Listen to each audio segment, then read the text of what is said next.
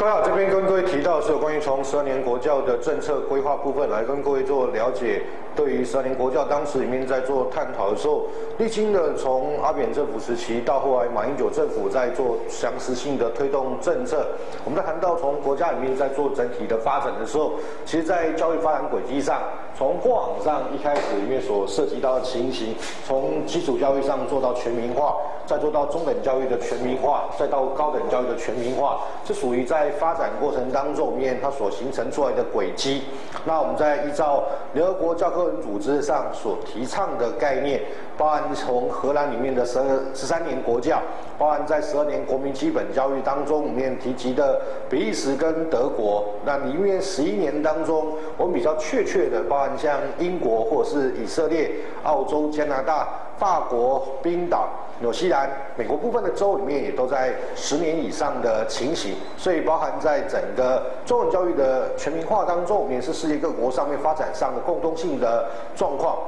所以在未来里面，如何能够培养具有现代公民的取向跟教育，当然变成是属于在教育发展当中的一个很重要的前提。这也是我们本身在执行这样政策规划的时候所涉及到的相关性概念，按照这样方式上来进行若干性的检视动作。库里面在做探讨的时候，里面可以看到从政策的取向上来进行若干性的划分跟探讨，当成为我们本身在探讨这样政策跟区块上面，呃，很详实的相信课题，所以也必要能够从这些课题上来进行若干性的检视跟讨论的动作。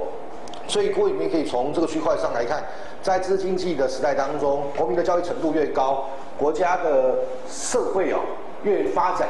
所以可以看到，在整个知识的区块上的必要性当然变得更加重要。所以可以从进来里面我们的相相关性的资料上来看，我们的教育上的水准上某种程度已经达到了普及化的程度，而在国中的毕业生就学的机会里面也到达百分之一百零五点六的情形，也代表多数人里面已经接受了后期中等教育的相信范围。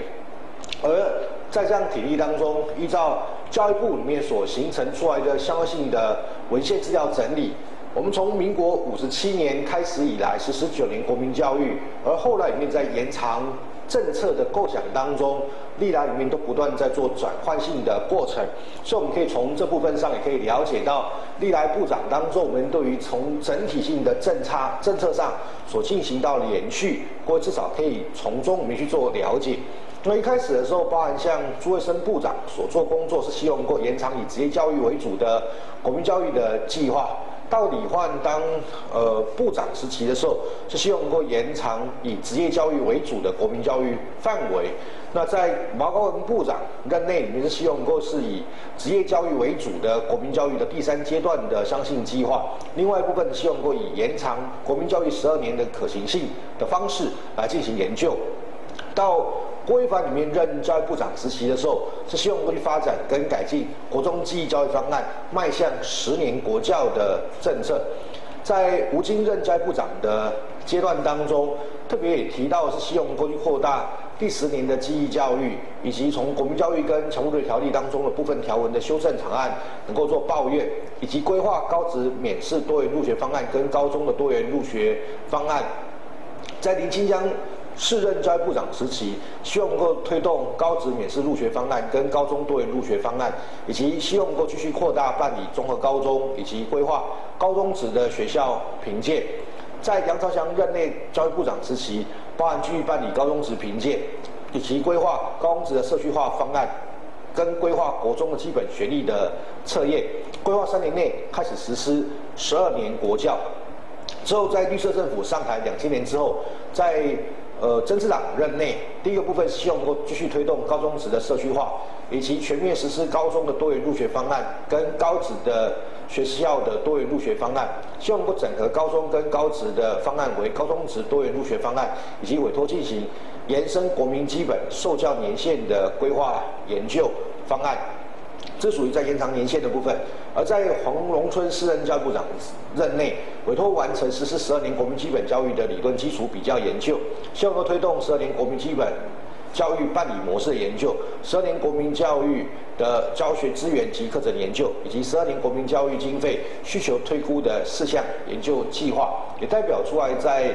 任内当中，我们对于整体性的十二年国教上面，不管是在理论模式，甚甚至里面提到它的课程跟经费部分上，比较完整的方式上来进行讨论的过程，这属于在黄春任内里面他们所涉及到的做法。所以在政策上进行回顾的时候，历来在部长当中对于十二年国教的可行性，开始做若干性的建构性过程。而到后来的时候，针对于从十二年国教上面，也成为一个官方上面相关性的政策，所以包含在后来的任期，包含像孙昌任行政院长时期，也一度里面是希望会宣告十二年国教的整体性的实施做法，这属于在十二年国教上面在做属于政策规划的时候，各位可以看到的课题。那当在负责这些相关性政策规划的时候，必须要能够针对于这些政策上做一个妥适性的政策分析。那政策分析的话，是属于在政策的发展过程当中去了解到政策的决策过程、政策的方案、政策执行跟政策评估，透过政策的历程上去进行了解。所以原则上，我们在本文当中是希望不透过分析政策方案为主。但并没有这做相信的政策上面的论证哦，所以在下一个课题当中才会跟各位去谈到政策如何做到若干性的论证做法。所以在十年国教里面，它的相关性的目的跟理念，那是否在执行过程当中，什么样的观点上是一个值得去做执行的相信时机？那时至今日，当然我们已经看到，我们在我国在一百零三年的时候。去试任的推动十二年国民基本教育，所以可以看到，在我国在九年国教里面的实施过程当中，已经届满的情况。那未来里面在后期中文教育上，其实变成是一个在政策在做推动的时候，一个很重要性的主流。所以我们从这部分上去做思考的时候。十二年国教里面，他在做推动的时候，有几种相关性的核心概念。呃，就当时的观点上来看，某种程度上是希望能够提升国民的整体性的素质，所以包含在质跟量上能够做到更多的发展，挹注更多的经费，能够改善教学的软硬体设备，提升教师的素质，均衡各项的落差，才能够提升教育品质。如果能够借由十二年国教的改革跟策略，更能够全面提升国民的教育素质。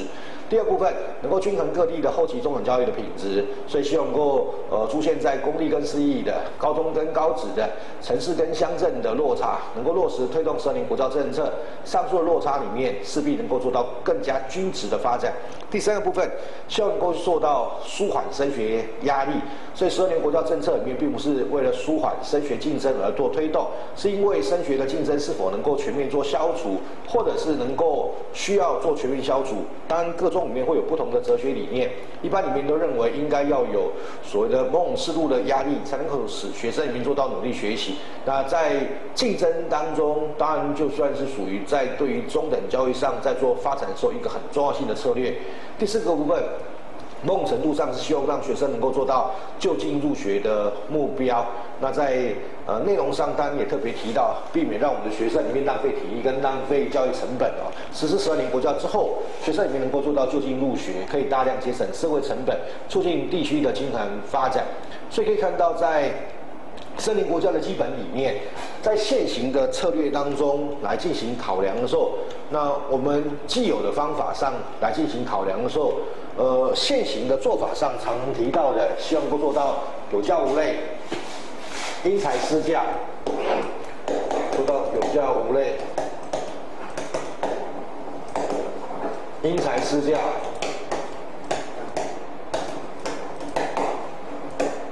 所以，透过了有这个因材施教，通过多元进入的、多元优质衔接的、优质进入。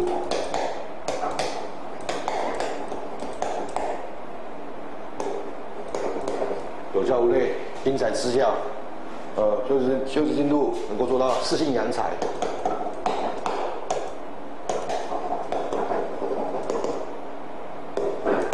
所以可以看到，在发展上面，它所涉及到的课题，所以可以看到，在整体的策略当中，希望能够考量到以学生当做核心性的区块，来做到呃发展性的过程。所以可以看到让人整体性的体制当中做到妥适性的衔接做法哦，所以可以看到，呃，这是属于在体制上各位至少可以看到面向，所以希望能够做到全面的推动后期中等教育上面的全民过程。所以可以看到，在发展上来看的时候，是属于在迈入到后期中等教育上真正的相信的时期。